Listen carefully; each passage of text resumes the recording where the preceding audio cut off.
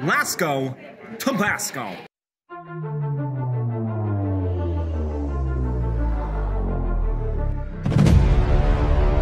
No Laz Tobaz for two years. Have no fear, shed no tears. I took a little health hiatus. I'm back with more cred and status. I've been distracted with historical epics. I'm correcting history like a QT fix. Back to the Badman tune. More tracks and bids coming soon. So let's get to the story of this video. If you play the games, you probably skipped the physio.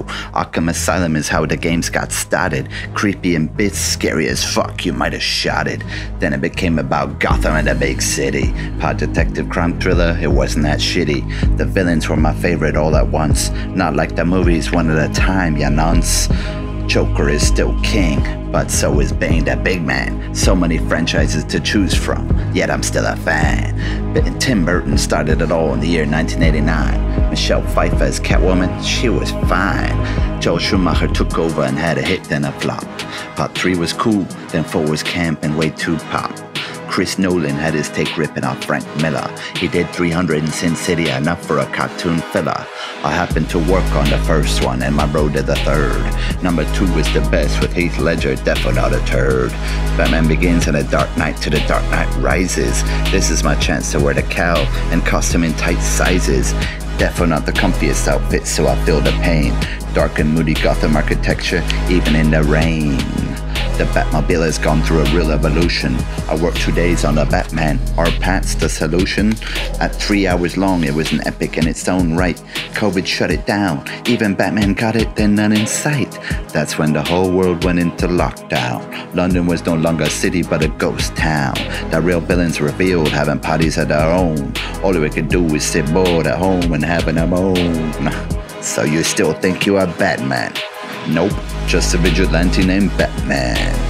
I'm treated like a criminal chased by the cops. The real crooks have hairstyle high tops.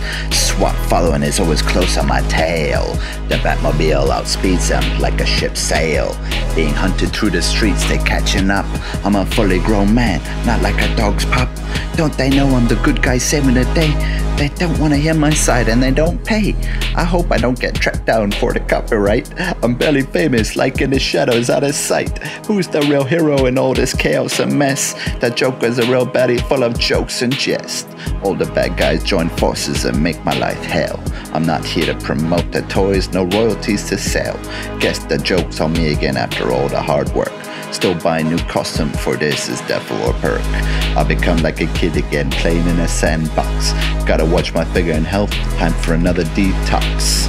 I hunt the baddies when they come out at night. Always getting beaten up, still for another fight. Reducing crime rates in Gotham is my life's goal.